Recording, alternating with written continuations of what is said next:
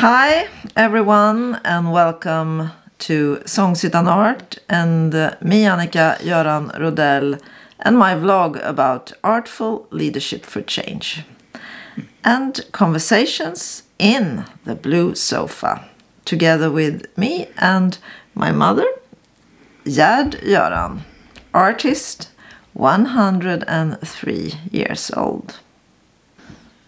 Hur är det idag?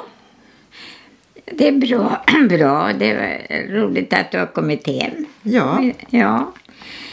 Vad har du gjort idag? Ja, ja, just nu är jag liksom breddfullt över Erik Schilds timma Okej. som han har på söndagar och idag om Sibelius. Vet du vad ni förnamn är? Sean. Jean Sibelius. Som den fjärde, eh, fjärde symfonin. Och, och Erik Schilt beskriver hur Sibelius med sin svåger, de skulle bestiga ett berg i det öde, öde Karelen utan stigar, utan, eh, utan eh, ja, absoluta ödemarken. Och det var inte så högt berget men där uppifrån såg man det mörka sjön och, och gråväder och oerhört ödsligt. Och ur, ur denna känsla skapar han. Och enligt skilt så var det ända längst in i själen, in i det undermedvetna. Och undra på att man vill försöka ta del av detta. Åh. Ja.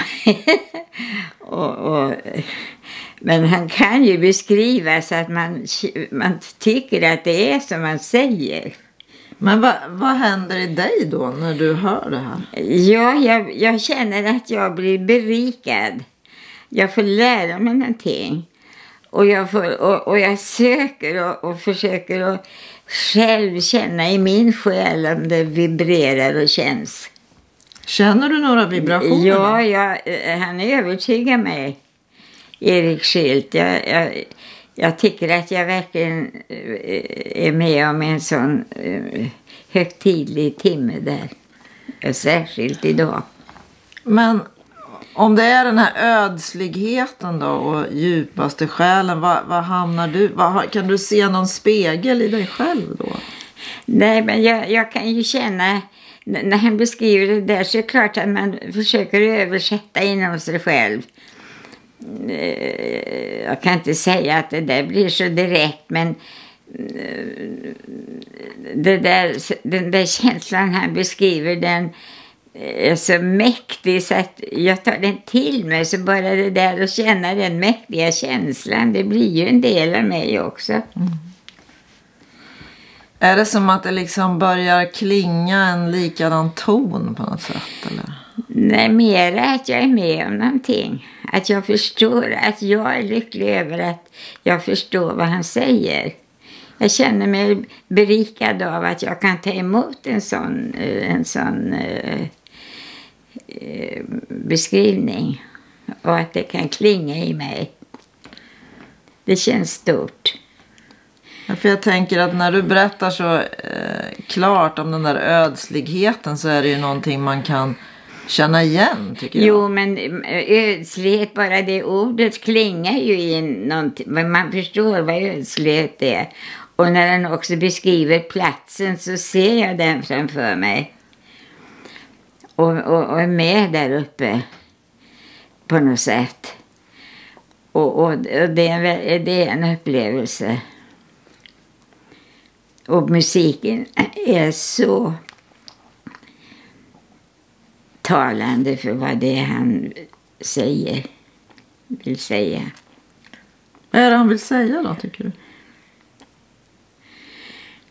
Nej, men det är uttryck för ödsligheten och, och, det, och det oförklarliga innersta, det o, vi inte förstår. Ja, man kan hela tiden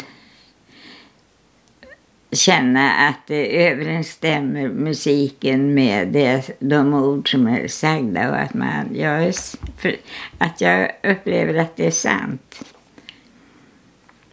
För det känns som att du, är väldigt, du blir väldigt uppfylld av det. Ja, det är det. Jag tycker, jag tycker det är härligt att jag skulle kunna, jag förstår att jag behövde veta så mycket mer. Men jag är ändå glad för att jag förstår att uppleva det här. Och, och att det känns fint. Du får energi av det? Ja, det är klart att det får man ju av en sån där upplevelse. Så jag, jag, jag tänker, vad ska jag översätta min energi på? Då sa jag till dig, ja, jag kan bara virka och klippa just nu för jag ser inget annat. Och, och, men jag, jag tänkte kanske, jag kan, vad, kan jag hitta på? För det är som att du får någon slags skaparenergi. Ja, det det, man känner ju att vad, vad, vad är det som man inte har gjort? Mm. Ja. Jag tänker, alltså det, lå, det låter lite som en, uh, man känner sig lite förklarad på något sätt, inombords.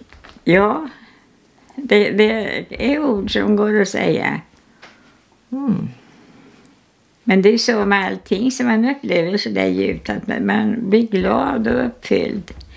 Och, och, och, och man får plötsligt en känsla av att, att det är stort att vara människa. Vad fint. Det tycker jag var ett bra slutord.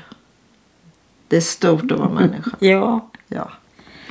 Um, so okay, thank you for being with us and we hope you come back next week.